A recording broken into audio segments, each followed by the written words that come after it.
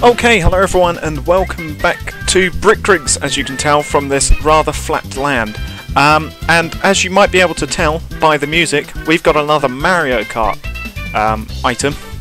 And if you're wondering why this is getting its own video, um, well, because it's not like the other Mario Karts.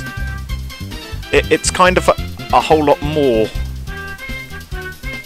Some people may recognise what this is right from the get-go, or maybe from the music. Um, this is Mario. This is Luigi Circuit um, from the GameCube um, in all of its glory. Um, there's some slight holes here from where the uh, whole track, you know, comes together. But apart from that, um, it's a slightly thinned down version, but it's Luigi Circuit from the GameCube. And as you can see, I have got the Mark 8 here because I've happened to have put Luigi's name tag on it.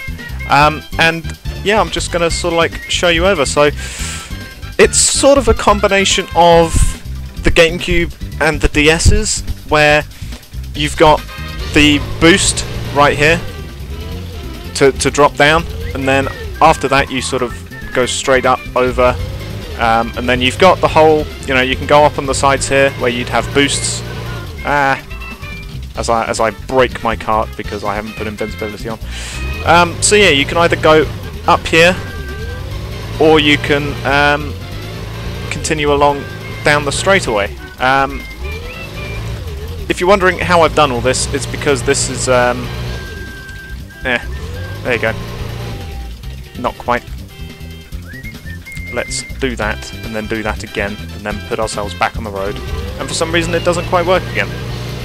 I don't know why. Um, but yeah, I think it's to do with how my cart was broken. Um, I do have to admit.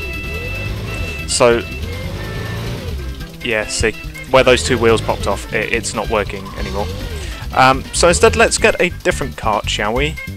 Oh, as I get rid of this one. So, yeah, it's pretty much the same um, as the no, don't want to remove abandoned vehicles. So it's pretty much the same as the... Um, was it Rainbow Road and, you know, Block Fort.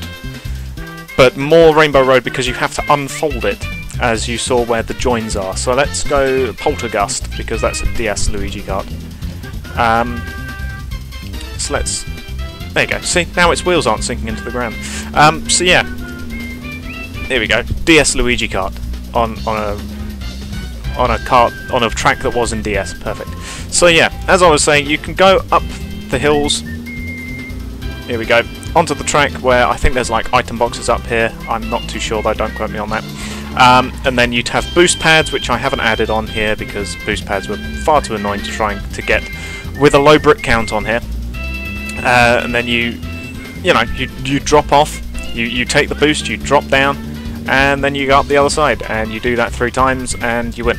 That that's that is Luigi Circuit on the GameCube. It wasn't a particularly revolutionary track, but hey, it's revolutionary as in you go around the whole load. So here we go, drop down, um, and yeah, and as you can see, there is the gap in the centre where if I come around here, squealing tyres as I go over the boosts